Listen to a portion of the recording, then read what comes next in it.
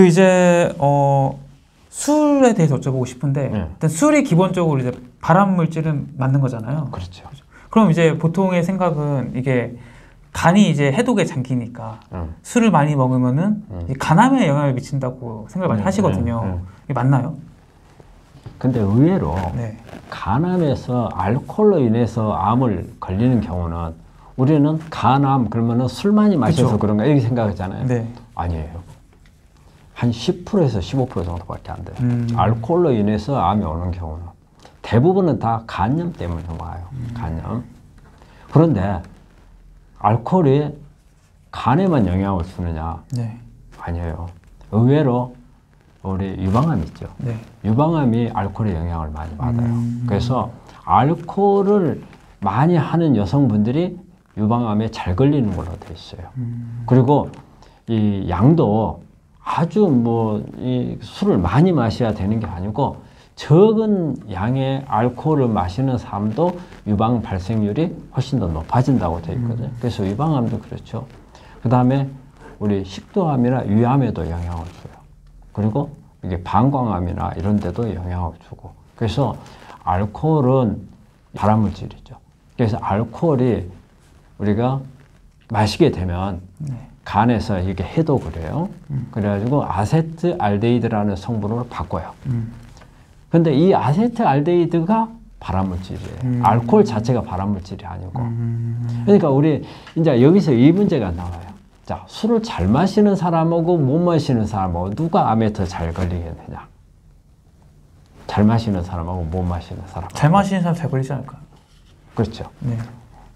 근데 이제 어떻게 보면은 알코올을 해독을 못 하니까 음. 못 마시는 사람이 더 잘 걸리겠다 음. 이렇게 생각할 수도 있거든요. 음. 그런데 잘 걸, 잘 마시는 사람이 알코올 양이 많기 때문에 음. 아세트 알데히드가 많이 만들어지겠죠. 음, 음. 바뀌니까. 네, 네. 그래서 어, 술을 많이 마시는 사람이 적게 마시거나 못 마시는 사람에 비해서 네. 훨씬 더 발암물질이 많이 만들어니까 암에 이완될 가능성이 많고 또 안 좋은 요소가 뭐냐면 한꺼번에 폭주하는 사람이 있죠. 네. 예? 이 사람들은 변명이 야 나는 어쩌다 한 번 그렇게 마셔 네. 어, 그러잖아요. 근데 이 폭주가 아세트알데히드 순간적으로 많이 만들어지죠. 음. 그러니까 훨씬 더 암을 촉진하는데 큰 역할을 해버릴 수가 있잖아요. 음. 그리고 꾸준히 계속 술 마시는 사람이 있죠. 이 사람도 아세트알데히드가 날마다 계속 만들어지잖아요. 네. 그러면 발암물질로 계속 작용을 할 수가 있고 그리고 이제 보면은 또 이제 안주하고 관련돼 있어요. 네. 안주를 좀 먹는 사람들하고 음. 그냥 알코올만 많아서 우리 보통 이제 깡술을 먹는다 하잖아요. 깡술을 먹는 사람들하고 누가 더 안 좋은가? 깡술을 먹는 사람이 훨씬 안 좋아요.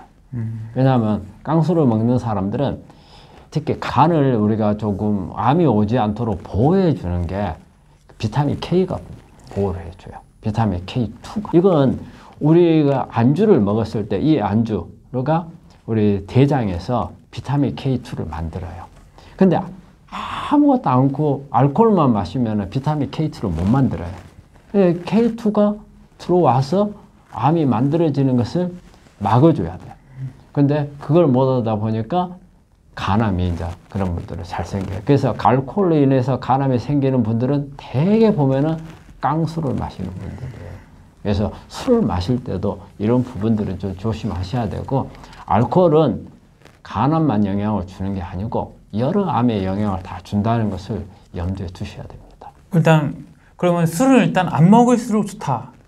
그렇죠. 이건 네. 확실한 거죠. 어. 그러면은 근데 이제 뭐 우리가 뭐 폐암 같은 경우만 보더라도 음. 이제 뭐 담배 흡연자가 폐암에 걸렸을 때도 이제 음. 담배를 끊지 못하는 분들이 많잖아요. 예. 술도 약간 비슷할 것 같아요. 어, 나는 술 엄청 좋아하는데 음. 내가 암에 걸렸어. 음. 당장 술 끊어라 하면 이게 쉽지 않잖아요. 예. 안 먹는 게 가장 좋긴 하지만 음. 그나마 암 환자분들이 좀 그래도 건강하게 어떻게 보면 덜 해롭게 음주를 좀 섭취하는 줄여가는 방법이 있어요. 거. 네, 근데 이 이제 그런 이야기 우리 환자분들 많이 해요. 네, 그 이제 술에서 술 절대 마시면 안 됩니다. 하면 예. 그러다가 또 나중에 한 잔은 어때요? 네, 네, 네. 아, 아, 안 됩니다. 그럼 일주일에 한 잔은 어때요? 근데 제가 보니까 담배나 술이나 이게 줄이는 것은 상당히 어려운 것 같아요. 음. 줄여 줄인 줄이면서 끊는다는 것은 저는 좀 힘들다고 봐요. 음. 술이나 알코올은 모든 것은 한 방에 끝내야 돼요. 음. 근데 우리가 그랬잖아요. 술을 한 잔 마셔. 나 오늘은 절대 안 마시. 딱 한 잔만 마실 거야. 하자고 마시잖아요. 네. 근데 한 잔 마시고 다음에는 그 다음에는 어때 이제 서서히 기분이 풀리면서 한 잔이 두 잔이 되고 두 잔이 섞여인데. 네. 네? 그래서 어, 대부분 그잖아요. 술 좋아하면서 야 오늘은 딱 한 잔만 해. 음. 근데 한 잔만 지켜지질 않잖아요. 그리고 지금 또 이제 암에 걸렸지만 대부분 사람들은 보면은 술이나 어, 담배는 끊어요. 음. 대부분 환자들. 그런데 못 끊는 분들이 있어요. 어, 그런 분들한테 항상 하는 변명이 어쩌다 한 번 마시는 건데 음. 그런 말씀을 하시는데 어쩌다 한 번 말씀하셨던 분들이 술 끊는 거, 담배 끊는 건 못 봤어요. 음. 그래서 술, 담배 끊는 것은 어쨌든 이런 부분들이 암에 걸렸어요. 근데 한 번 피울 때마다 암에 영향을 준단 말이에요. 그렇기 때문에 아예 끊으셔야 돼요. 어, 담배 손에 쥐어보지도 말고, 그 다음에 술도 빈잔도 입에다 대지 마- 않는 게 음. 좋을 겁니다. 예. 그 이제 암 환자분들의 단백질. 예. 단백질은 어떤가요? 그 우리 이제 암 환자분들이 잘 먹어야 된다. 단백질을 먹는다 하면 고기를 먹어야 된다. 그쵸. 이 생각을 하잖아요. 예. 그런데 이게 이제 그 논문으로 이게 자료가 나와 있는 게 있는데 보면은 암 환자의 사망률을 어, 높이는 게 단백질이 우리가 영양소 중에서 단백질이 가장 영향을 준다고 돼 있어요. 단백질을 많이 먹으면 먹을수록 사망률이 높아진다. 이게 단백질은 적정량이 중요한 거지 오버된 양은 안 된다는 거거든요. 그리고 또 단백질을 우리가 얻을 수 있는 소스가 육식, 고기 종류에 있어서도 있지만 우리가 채식 종류에서 얻- 얻을 수가 있거든요.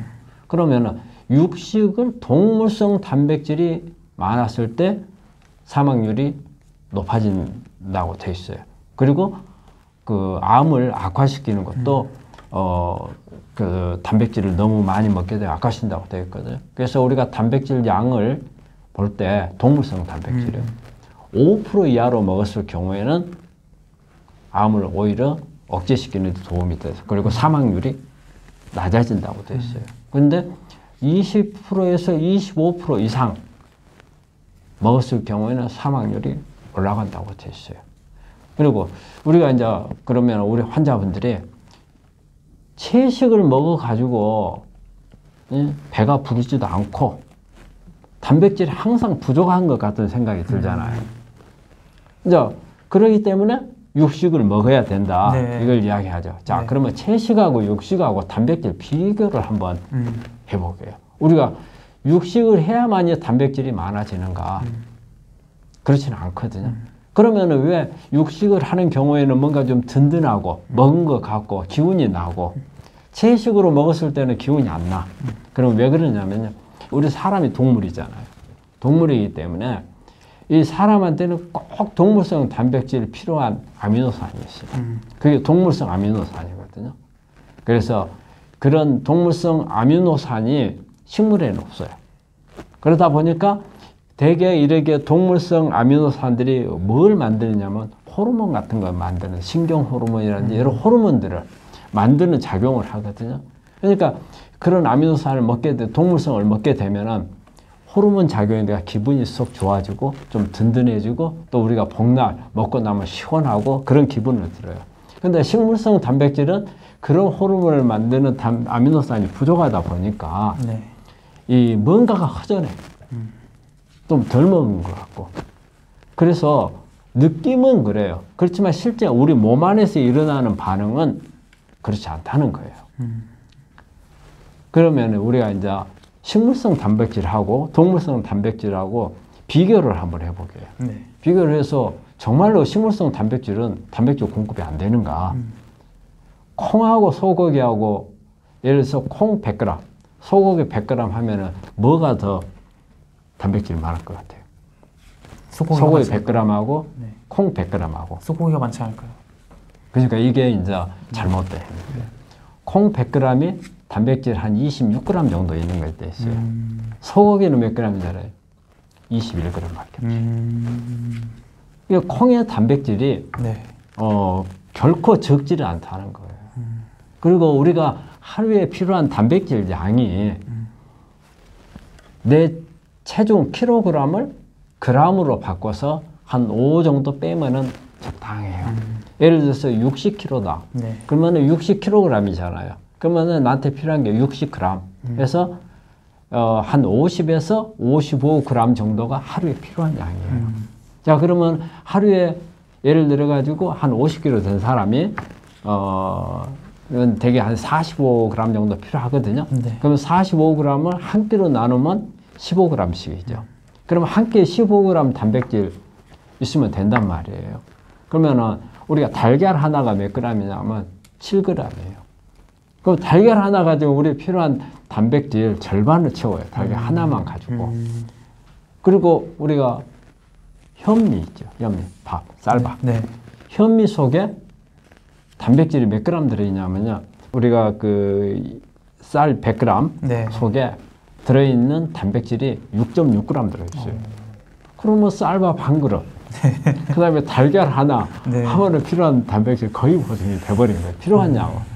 그러니까 남은 단백질은 얻다가 기왕에 먹었으니까 나중에 쓰기 위해서 저장이라도 해야 하잖아요. 단백질은 저장이 안 돼요. 음, 저장이 안 되기 때문에 남는 것은 다 간이나 콩팥을 통해서 배출해야 돼요. 음, 그러면 먹는데 에너지 몽상 써요. 그렇죠. 흡수하기 위해서. 음. 그 다음에 또 이걸 배설하기 위해서 또 에너지 또 써야 돼요.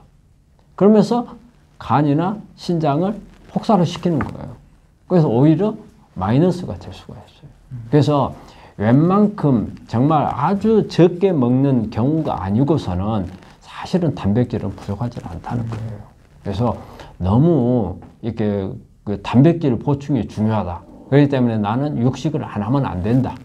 예, 동물성 단백질은 무조건 먹어야 된다. 그거는 어, 잘 못된 생각입니다. 우리 실제적으로 그렇게 어, 이 부족하지 않고 어, 우리가 정상적인 식사하는 사람들은 오히려 좀 줄여야 돼요. 음. 예, 그래서 너무 단백질에 목매는 것은 바람직하지 않습니다. 아 그럼 이게 뭐 동물성 단백질뿐만 아니라 식물성 단백질의 섭취까지 다 포함해서 단백질을 줄여야 한다는 말씀이신지 아니면 이게 그냥 뭐 단백질 줄이자, 식물성 단백질 많이 먹자 이런 이런 의미 어떻게 받아들여야 될까요? 그러니까 우리가 평소 때 네. 음식 먹는 거 우리가 우리 한국 사람들은 맨날 고기 먹는 건 아니잖아요. 네. 그래서 평소에 때 먹는 양만 가지고 절대 부족하지 않다는 거죠. 음, 그러니까 여기다가 플러스해서 잘 먹어야 되니까 뭘 더 먹어야 된다. 음. 고기를 더 먹어야 된다. 그럴 필요는 없다는 거예요.